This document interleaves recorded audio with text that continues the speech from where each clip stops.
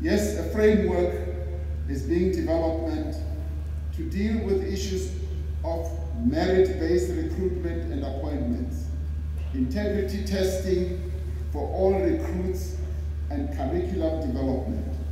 But it is us seated here who must now give meaning and flesh to all these matters that are being dealt with.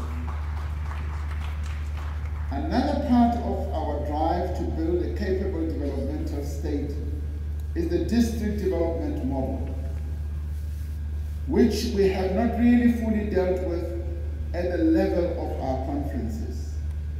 This conference gives us the opportunity to look more closely at this model, which, by the way, has been in implementation over a number of years. There are a number of provinces that have been implementing this model in a number of uh,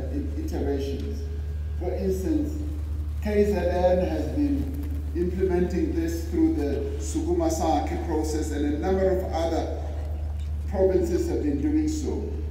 Now we need to integrate that whole process as delegates to this conference and see whether this district development model from a policy point of view can actually lead to the strengthening of the state as we envisage.